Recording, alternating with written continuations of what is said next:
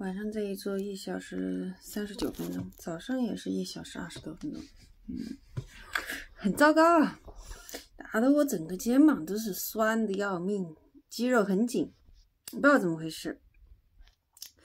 其实思维上当然是很乱的。嗯，可以思考法医从这个十六观制一直到大乘的这个无分别制，怎么把它衔接起来？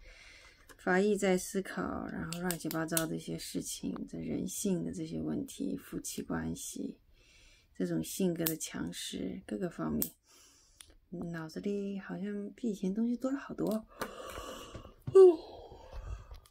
嗯，嗯，这。这一两天都不行，今天特别明显。今天早上主要又是听的那个外面的空调机那种低频的那种噪声啊，受不了。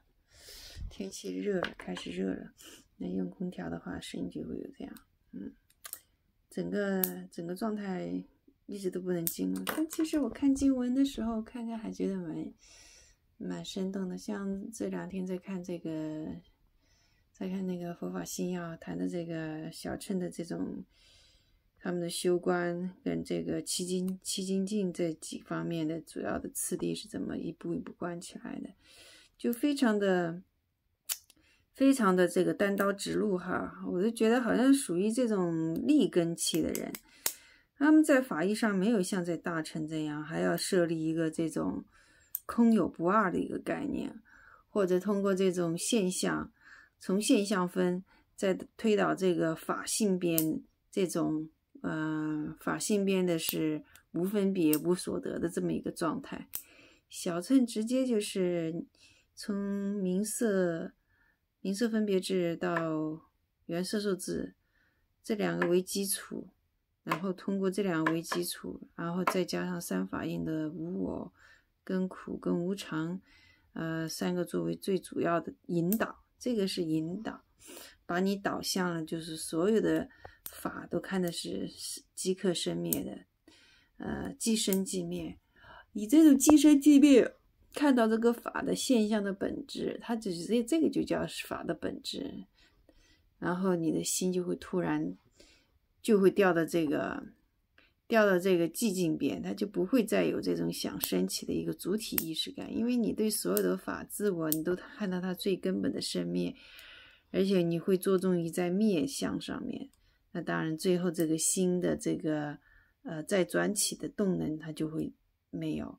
如果你按照这个出观去想这个生灭法，把这个把你的心放在这个灭上的话，那只是一种很，那只是一种苦受，因为你没有看到。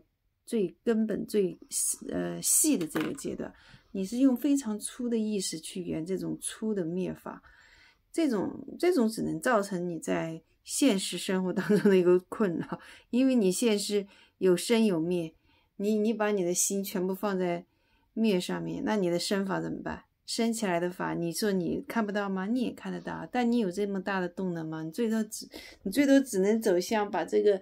呃，粗相的五五五运分给给破掉，就走向自杀了，是吧？那你细相的五运分的话，你到这个时候的话，你回过头来再看粗相分，你在粗相分就不会有任何的一个主体感，我觉得是这样，所以这个比较合理。你不在细相分里面看到法的本质，你在粗相分去破法的话，你只能是只会掉入一些断见里头。那大乘里的这种修法就完全不一样。大乘的话，它不是以这个细分，然后然后拆开拆解来看这个法的本质。他首先就给你建立了一套观念：这个法相跟法性是两个不一样的东西。在法相上面，你一直会流转，会有生灭；但是法性是一个不生不灭的，然后永恒不变。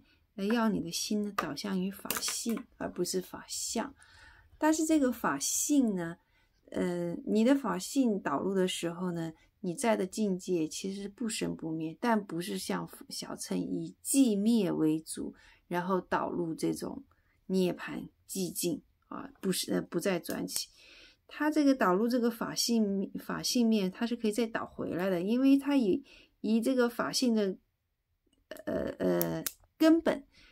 法的所有的根本是来自于法性，有法性为作为根本，才有这种能量，才会显成法相。所以你从你的法相边导入法性边，然后你导入了最根本的这个这个无实质的空性的时候，你同时是可以导回来。它不像小乘，它只往一边导，它不回来导的，它是只是去一即即灭。所以我看了这个以后呢，我心里的感触就蛮大。为什么师傅会说，真正你的这个生灭自升起了以后，哈，你的心是回不来的，你就会一直朝着这个方向走下去，就是走入寂灭的。对呀，因为他根本就没有跟你设立还有一个导回来的一个这个这个一方面，他只是告诉你灭了就没有，他没有说灭是你的法的根本，是你的法的源头。因为有灭才有生，它不是这样，是就是因为生了就灭了，生了就灭了，所以他就他不是说是因为法的尽头而有有有可以说看到这个呃生相，所以说他只能导入这个寂寂灭法。不过我觉得小乘的这种根气也是要非常的利啊，你没有这么强的力的根气哈，你怎么关得起来这么细致的这个刹那生灭法呢？然后你的心怎么可能有那么强的控制力？就住在它的面相上面，以它的面相为它的根最根本，所有的、所有你的、所有你的能量，所有你的心心智，全部导向在那一个点上。